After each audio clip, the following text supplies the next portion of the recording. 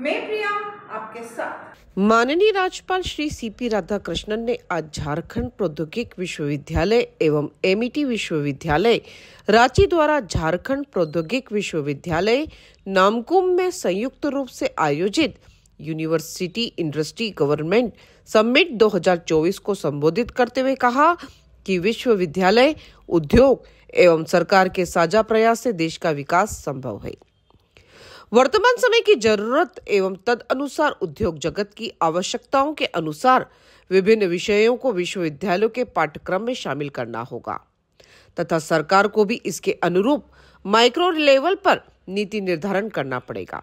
इस प्रकार के साझा प्रयास एवं नीति निर्धारण से ही हम विकसित देशों की श्रेणी में पहुँच सकते हैं और विकसित भारत दो के सपनों को साकार कर सकते हैं। राज्यपाल महोदय ने कहा कि विकास के लिए यह आवश्यक है कि सैद्धांतिक शिक्षा को प्रायोगिक रूप से धरातल पर उतारा जाए।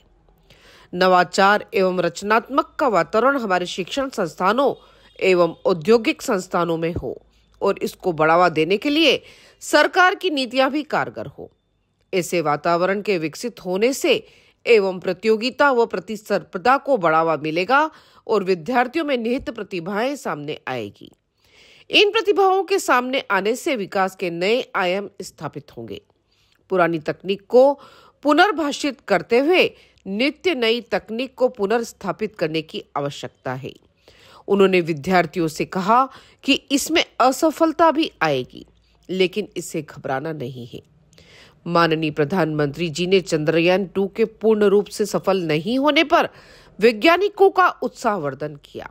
और कुछ माह बाद चंद्रयान तीन सफलतापूर्वक चंद्रमा के दक्षिणी ध्रुव पर लैंड किया।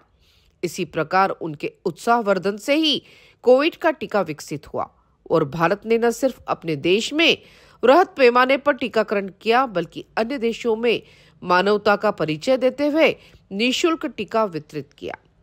राज्यपाल महोदय ने कहा कि भारत के विकास में नई शिक्षा नीति महत्वपूर्ण भूमिका निभाएगी। आज का यह समिट समावेशी विकास के लिए युवाओं को प्रेरित करेगा। वे आधुनिक ज्ञान के साथ साथ पारंपरिक ज्ञान एवं तकनीक को बढ़ावा देकर संगठित उद्योग के रूप में विकसित करेंगे। विकसित भारत की परिकल्पना भी साकार होगी, तब झारखंड विकसित होगा। उन्होंने कहा कि माननीय प्रधानमंत्री जी, भारत को विश्व की पांचवी अर्थव्यवस्था से तीसरी सबसे बड़ी अर्थव्यवस्था बनाने हेतु प्रतिबद्ध है। उन्होंने माननीय प्रधानमंत्री जी के इस प्रतिबद्धता में सभी को अपना योगदान देने का आह्वान किया। बाकी की तमाम खबरों के लिए बने रहिए राजनामा टीवी के साथ।